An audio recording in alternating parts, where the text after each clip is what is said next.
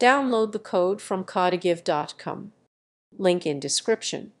HTML, or Hypertext Markup Language, is the foundational language used to create and structure content on the web. It provides a framework for organizing text, images, links, and multimedia elements, enabling browsers to render web pages.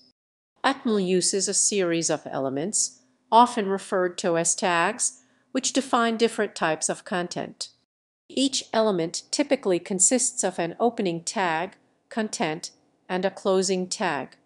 The language allows for the creation of a hierarchical structure using elements like headings, paragraphs, lists, and tables.